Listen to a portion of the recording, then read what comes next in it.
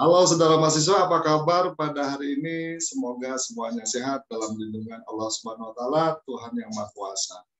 Baik pada mata kuliah dasar-dasar ilmu pemerintahan pada sesi ini kita akan membahas mengenai ilmu pemerintahan sebagai ilmu.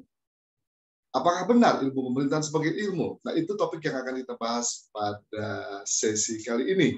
Ya, baik saudara-saudara semuanya, uh, sebelum saya sampai kepada materi, nanti izinkan saya nanti untuk menyampaikan juga hal-hal yang poin-poin utama dari materi kuliah kita terkait dengan uh, materi yang saya akan share kepada saudara-saudara semuanya. Nah, mohon maaf. Uh, baik, ya. izinkan saya untuk share materinya. Di dalam materi kita kali ini, ya, fokus kita adalah lebih berbicara kepada bagaimana kita melihat bahwa memang ilmu pemerintahan adalah sebagai ilmu seperti halnya ilmu-ilmu lainnya. Ya. Jadi seperti halnya ilmu lainnya bahwa pasti ada syarat-syarat dari ilmu. Demikian ya. Sama halnya juga dengan ilmu pemerintahan.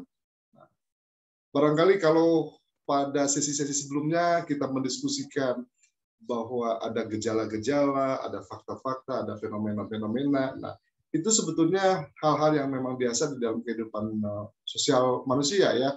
Dan itu merupakan hal yang keseharian kita lihat. Ya. Nah dari situ kita bisa melihat bahwa ini kategorinya masalah sosial, ini kategorinya masalah hukum, ini kategorinya masalah ekonomi dan seterusnya. Nah pandangan-pandangan seperti itu menginspirasi kita semua bahwa memang sebuah ilmu itu bisa juga berangkat dari apa yang kita rasakan, apa yang kita lihat, apa yang kita lakukan seperti itu. Nah, mari kita diskusikan dan kita lihat bagaimana terkait dengan ilmu pemerintahan sebagai ilmu. Sebelum sampai kepada ilmu pemerintahan sebagai ilmu, saudara-saudara, kita mesti pahami dulu ya, bahwa apa pengertian dari ilmu itu sendiri. Jadi bagi saudara-saudara mahasiswa strata satu yang sekarang yang berada pada semester satu gitu kan, perlu memahami bahwa ilmu ini merupakan sebuah eh, apa namanya satu kesatuan ya kepengetahuan yang biasanya teratur ya ada sistematis itu ya eh, dan, dan dan jelas gitu kan di mana di dalamnya ada metode-metode yang dilakukan untuk untuk untuk eh, mencapai tujuan dari ilmu itu sendiri jadi utuh. Jadi di dalamnya satu kesatuan nah, yang ada objeknya, ya, yang mempunyai metode bagaimana mengajarkannya, mempelajarinya, dan mengkajinya seperti itu. Serta upaya-upaya untuk mencapai tujuannya. Jika kita melihatnya dari aspek syarat-syarat ilmu seperti yang uh, kita lihat tadi, gitu kan, maka kita bisa melihat satu persatu dari Eh, masing-masing syarat tersebut. Kemudian kita bisa menyimpulkan bagaimana kecenderungan yang terjadi. Apakah eh, yang bersangkutan itu jelas bahwa ada objek kajiannya? Apakah jelas ada metodenya? Apakah jelas eh, bagaimana upaya untuk mencapai ke apa namanya ilmu itu sendiri sebagai ilmu gitu sehingga belajar dengan ilmu yang lainnya. Ini mesti kita apa namanya pahami ya mesti kita kaji ya. Jadi ketika sesuatu yang kita sebut katakanlah eh, pengetahuan dan pengetahuan itu ingin dianggap sebagai ilmu maka tentu saja tadi saya katakan harus memenuhi persyaratan-persyaratan tertentu dari ilmu tersebut. Nah, jadi kalau melihat pada poin utama dari ilmu itu sendiri, apa saja persyaratannya, saudara bisa lihat di sini bahwa ilmu itu ada objeknya, objek yang disebut adalah objek kajiannya, yang ditelitinya, yang dipelajarinya gitu. Kemudian ada metode atau cara untuk membahas objek itu, untuk mengkaji objek itu. Jadi kalau tidak ada caranya, tidak ada metode, tidak alatnya, ya tidak bisa dikembangkan, tidak bisa diajarkan, tidak bisa dikaji seperti itu. Dan jelas ada sistematikanya. Sistematika dari ilmu itu pasti kan ada teorinya, nanti ada variabel, ada konsep, itu kan ada diskusi antar itu, gitu kan. Bagaimana apa namanya pembelajaran dari uh, ilmu itu, gitu kan.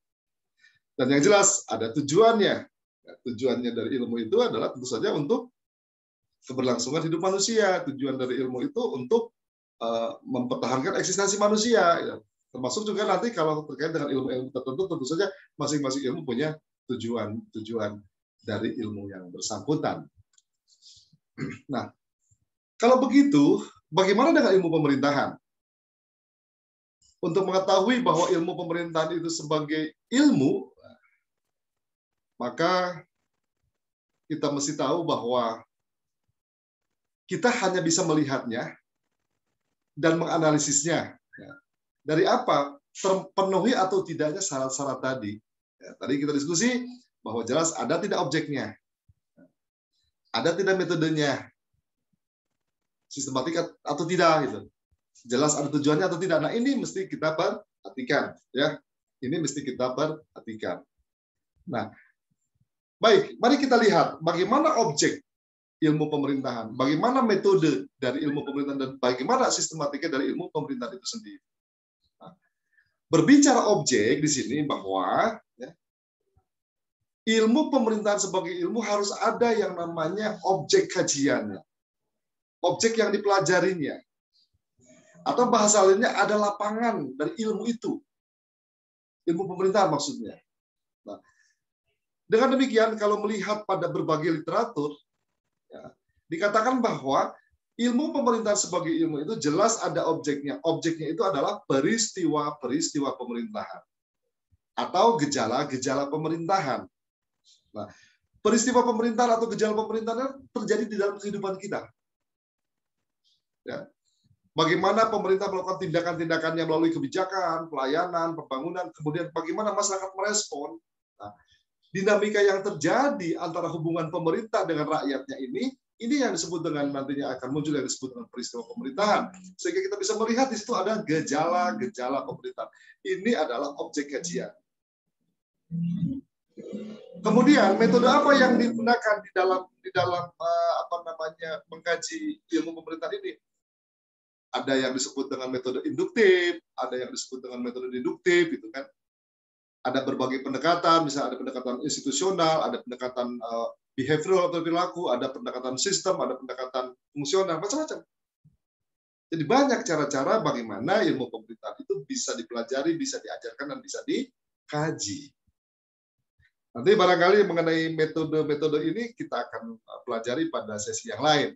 Tapi yang jelas, di dalam ilmu pemerintahan itu ada metode yang dipergunakan. Misalnya, apa itu metode induktif? Metode induktif itu kan metode yang dipergunakan dalam rangka kita melihat fenomena, fakta, gejala, untuk kemudian kita berpikir, mendiskusikan sampai menjadi satu konsep, sampai menjadi suatu teori. Nah, jadi proses menuju teori ini induktif. Ya, kalau kita melihat, menyaksikan, kemudian diskusi, kemudian menyimpulkan itu proses induktif namanya. Ya. Kemudian ada juga metode deduktif misalnya. Apa itu kalau kita melihat ada teori? Oh teori bagaimana fakta di lapangannya? Bagaimana pelaksanaannya gitu kan? Nah, itu berarti kita melihat ingin membuktikan teori itu bagaimana fakta, kejadian, kenyataan di lapangan itu pola deduktif dan deduksi. Jadi sebetulnya dua metode ini selalu ada di dalam ilmu pemerintahan, terutama dalam mengkaji ilmu pemerintahan apakah menuju kepada teori ataukah mengoperasionalkan teori. Sehingga kalau dilihat dari sistematikanya apa? Poin yang ketiga, di sini ilmu pemerintahan ini tersusun secara sistematis. Kenapa? Karena ya kalau tidak sistematis ya susah diajarkannya, nggak jelas metodenya, kurikulumnya dan seterusnya. Ya. Dengan demikian maka secara sistematis ilmu pemerintahan ini terdiri dari konsep-konsep yang bisa katakan. Ya, di mana yang yang apa namanya yang namanya konsep ini satu sama lain saling berhubungan, saling berkaitan sehingga hubungan antar konsep ini memang ada di lapangan pemerintahan, ada uh, di lapangan dan tersusun sehingga menjadi sebuah teori. Gitu ya. Jadi begitu ya. Jadi eh, bangunan ilmu pemerintahan ini sebagai ilmu jadi eh, secara sistematika jelas ada susunan bakunya, ada teorinya, ada konsepnya, ada variabelnya, dan itu bisa dibuktikan di lapangan. Baik. Nah, bagaimana dengan tujuan dari ilmu pemerintahan? Tadi dikatakan bahwa salah satu syarat dari ilmu itu adalah ada tujuannya.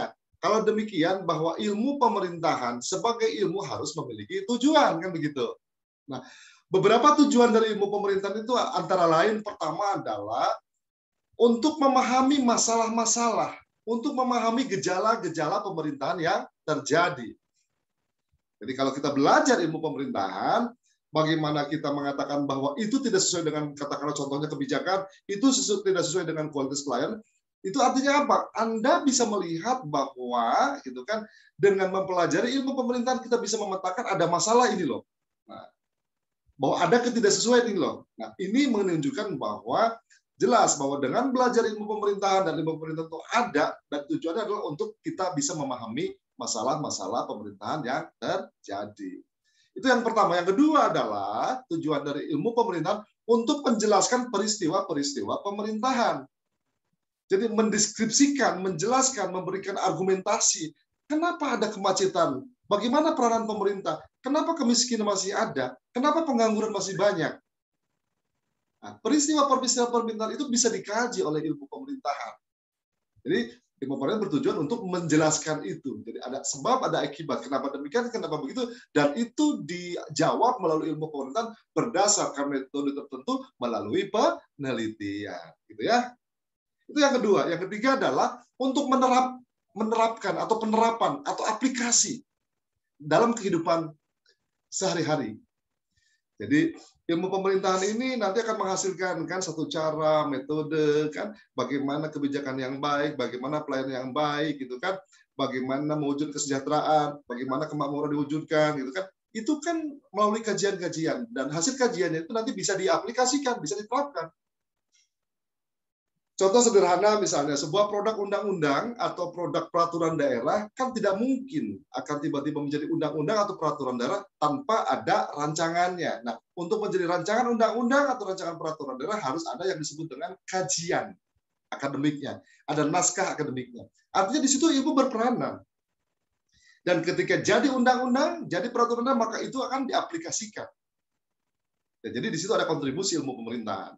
Kemudian yang keempat di sini adalah untuk meramalkan, untuk memprediksikan gejala-gejala pemerintah seperti apa pada masa yang akan datang.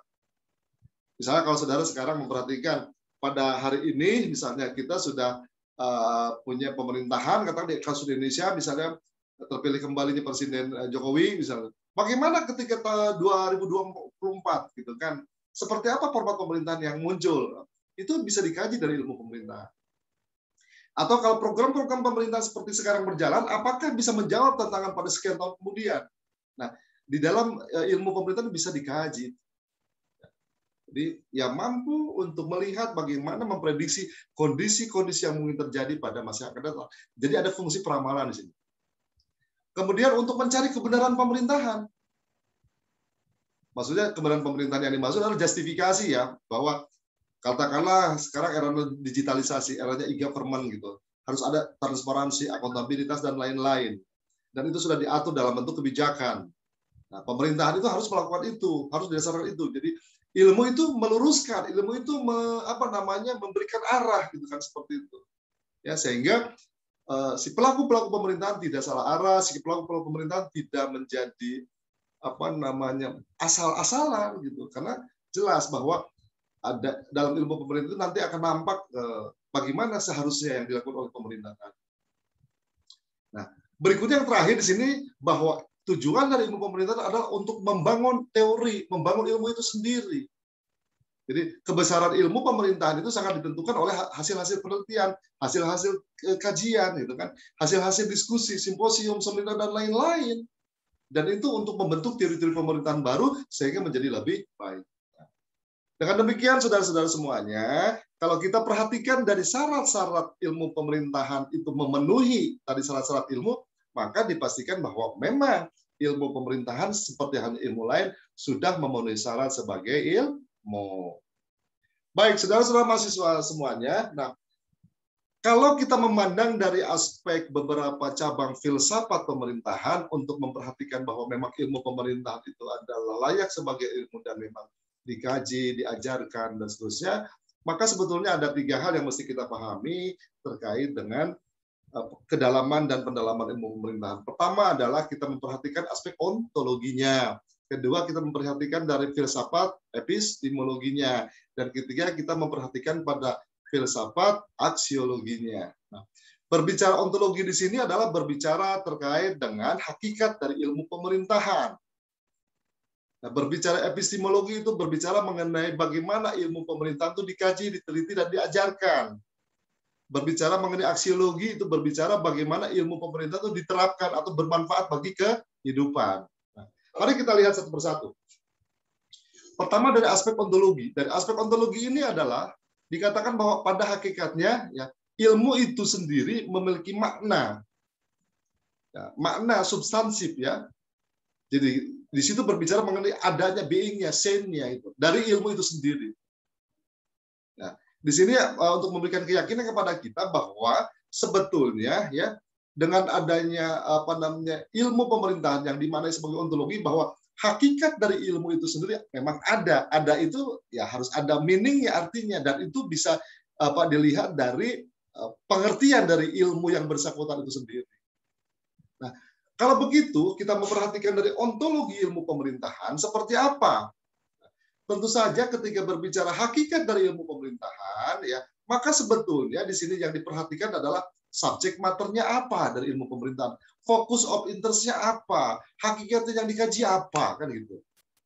Jadi lebih berbicara apa sebetulnya yang diajarkan, apa sebetulnya yang dikaji, apa yang menjadi fokus of interest dari kajian ilmu pemerintahan. Itu ontologinya. Sehingga di sini ilmu pemerintahan ini diharapkan mampu menjawab ya atas pertanyaan apa sebenarnya yang dikaji dari ilmu pemerintahan untuk menjawab pertanyaan ini, kita harus tahu dulu definisi, pengertian, atau batasan serta ruang lingkup dari ilmu pemerintahan. Gitu ya. Jadi kalau sederhananya berbicara ontologi ilmu pemerintahan adalah berbicara mengenai ruang lingkup kajian dari ilmu pemerintahan gitu ya. Ontologi ini sendiri berkaitan dengan apa? Subjek matter tadi saya katakan ya, fokus of interest ya, dan hakikat yang dikaji. Artinya apa?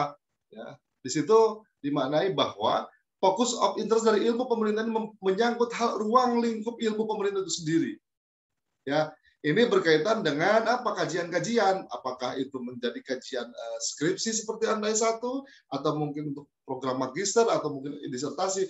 Yang jelas di situ harus muncul yang disebut dengan apa namanya objek kajiannya ya seperti itu. Nah, dengan demikian saudara-saudara, fokus of interest dari ilmu pemerintahan ini adalah bahwa berkaitan dengan hubungan fungsional antara pemerintah dengan yang diperintah. Sehingga di situ ada lembaga pemerintahan yang memiliki fungsi peran sebagai pemerintah, biasanya kan kita dimaknainya misalnya pemerintah membuat kebijakan, pemerintah melakukan pembangunan, pemerintah memberikan pelayanan, pemerintah melakukan pemberdayaan. Itu adalah apa yang dilakukan oleh pemerintah. Dan nanti keluarnya itu dalam bentuk tindakan-tindakan pemerintahan. Dan tindakan-tindakan pemerintahan itu kan nanti akan nyampe kepada rakyat yang diperintah. Maka di sini sebetulnya ada hubungan antara pemerintah dengan rakyat yang diperintah. Nah, hubungan ini nanti hubungan fungsional yang itu menjadi sebuah peristiwa pemerintahan. Dan itu yang menjadi bahan kajian dari ilmu pemerintahan. Demikian ya. Eh, kira-kira uh, saudara sudah bisa memahami barangkali ya terkait dengan dengan tadi eh, ontologi. Nah, saya akan masuk ke dalam wilayah filsafat epistemologi di dalam ilmu pemerintahan. Terkait dengan epistemologi ini seperti yang tadi saya katakan adalah ini berkaitan dengan bagaimana proses perkembangan ilmu pengetahuan pemerintahan melalui tadi apa namanya mengkaji, meneliti, menelaah ya. Kemudian uh, bagaimana metode yang dipergunakan dan seterusnya. Karena berbicara epistemologi adalah berbicara bagaimana ilmu pemerintahan ini tadi mengalami proses-proses tadi melalui aktualisasi tadi ya sehingga uh, dalam perjalanannya ini bisa diajarkan, bisa dikembangkan dan menjadi bahan pengetahuan baru di dalam ilmu pemerintahan. Nah, epistemologi ilmu pemerintahan ini ya berkaitan dengan bagaimana ilmu pemerintahan itu didapat, bagaimana ilmu pemerintahan itu diajarkan melalui metode apa, seperti itu ya. Jadi di sini dikatakan bahwa ilmu pemerintahan itu didapat berdasarkan data-data empiris, fakta-fakta empiris di lapangan. Kita melihat adanya apa? Masalah-masalah pemerintahan, gejala-gejala pemerintahan, fenomena-fenomena pemerintahan yang saya sebutkan tadi Masalahnya itu bisa di desa, bisa di kota, bisa di kabupaten kota, bisa di nasional. Nah, biasanya ini berkaitan dengan tadi urusan pemerintahan, misalnya tentang tentang pendidikan kah, tentang kesehatan dan lain-lainnya.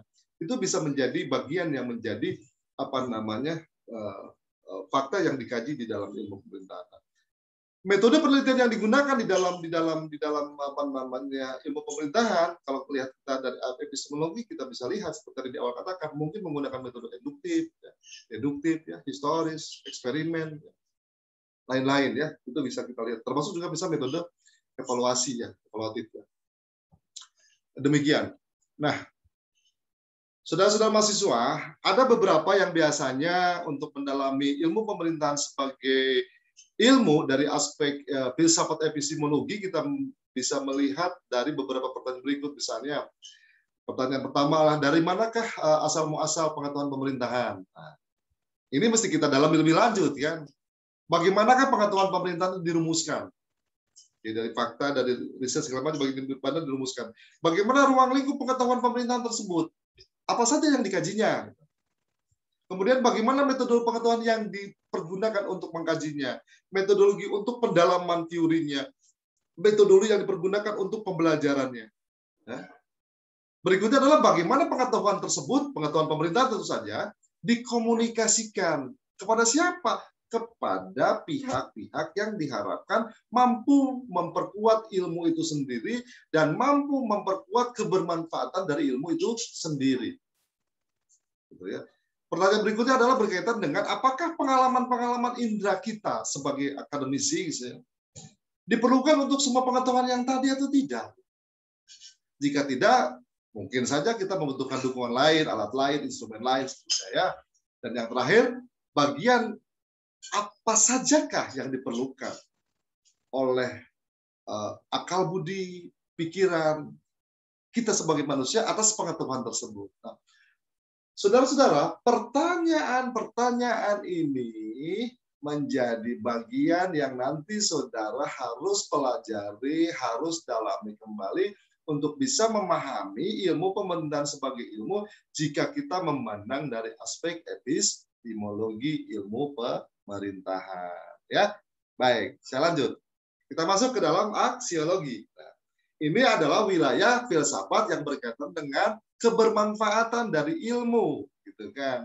Dengan demikian kalau berbicara ilmu pemerintahan secara aksiologi seberapa besar ilmu pemerintahan itu bermanfaat bagi kehidupan manusia, seberapa besar ilmu pemerintahan bermanfaat bagi keberlangsungan pemerintahan yang baik. Karena di dalam aksiologi ini berbicara mengenai nilai-nilai values tertentu, etika, norma dan seterusnya ya. Demikian sehingga harapannya sebetulnya dengan dikajinya ilmu pemerintahan dari aspek aksiologi, maka akan muncul bagaimana terapan berpemerintahan yang sesuai dengan etika-etika moral, etika pemerintahan, perilaku birokrasi yang baik, kebijakan yang sesuai, dan seterusnya. Ya, jadi kalau berbicara kedalaman dari ilmu pemerintahan, maka kita bisa melihat dari ketiga cabang filsafat ini, apakah dari aspek ontologinya, epistemologinya, dan aksiologinya jelas bahwa ilmu pemerintahan sudah mumpuni untuk dikatakan sebagai ilmu. Nah, baik, saya tambahkan kembali terkait dengan aksiologi pemerintahan. Jadi ini berbicara penerapan, ini berbicara manfaat, ini berbicara kegunaan dan seterusnya. Ya, oleh karena itu sebetulnya karena orang mengatakan ilmu pemerintahan nanti pada praktik-praktiknya adalah sebagai terapan. Nah, terapan itu ada dilaksanakan. Jadi mengenai bagaimana sebetulnya kebermanfaatan dari uh, ilmu pemerintahan ini, ya macam-macam. Bisa dari aspek uh, kognitifnya, pengetahuannya, bisa dari uh, aspek apa namanya psikomotoriknya, keterampilan keterimaannya, bagaimana cara membuat satu layan pemerintahan yang baik kepada masyarakat, bagaimana perumusan kebijakan yang baik, itu kan perlu ada keterampilan-keterampilan. Dan tentu saja yang terakhir adalah afeksinya. Ini yang paling penting juga sebetulnya. Bagaimana meningkatkan penghayatan. Penghayatan dari sisi-sisi pemerintah itu sendiri maupun dari masyarakat yang menerima gitu dari layanan. Begitu ya. Jadi dari aksiologi tadi bisa bermanfaat ilmu pemerintahan pada terapannya apakah itu bagi birokrasi pemerintahan penyelenggara pemerintahannya P-nya gitu kan ataukah bagi masyarakat yang diperintahnya melalui apa tadi pengetahuan pengetahuannya keterampilannya serta rasa yang muncul, budi pekerti yang muncul, sehingga uh, apa namanya ilmu pemerintahan dalam tataran terapan bisa uh, betul-betul bermanfaat. Baik saudara-saudara mahasiswa, nah dari keseluruhan kuliah saya pada hari ini, kalau kita melihat dari syarat-syarat ilmu pemerintahan sebagai ilmu, dan kita juga memperhatikan dari ketiga cabang filsafat ilmu, maka kita bisa melihat bahwa sebetulnya nah, ilmu pemerintahan seperti halnya ilmu lainnya, dia akan berhadapan dengan aspek ontologinya, epistemologinya, dan aksiologinya. Jadi ketiga cabang filsafat ini memang pada akhirnya akan melebur dalam tataran tadi apa kebermanfaatan tadi ya kegunaan tadi dalam kehidupan manusia dan untuk keberlangsungan penyelenggaraan pemerintahan.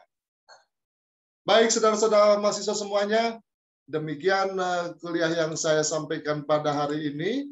Semoga betul-betul bermanfaat dan uh, tentu saja uh, pada kesempatan yang lain, sesi yang lain, saya akan menyampaikan hal-hal yang apa namanya topik yang lain. Berikutnya saya kira semoga Anda bisa menyimak, semoga Anda bisa mendalami lebih lanjut dari teori yang lain. Dan saya kira saudara-saudara sebelum menutup kegiatan kuliah pada hari ini saya berharap akan dengan senang hati kalau saudara memberikan komentar, saudara juga memberikan subscribe dari uh, YouTube saya, channel saya, ya, dan juga Anda bisa men-share kepada yang lain agar bermanfaat ilmu ini bagi halayak yang lain. Terima kasih, sampai jumpa pada kesempatan lain. Selamat beraktivitas. Assalamualaikum warahmatullahi wabarakatuh. Semangat pemerintahan.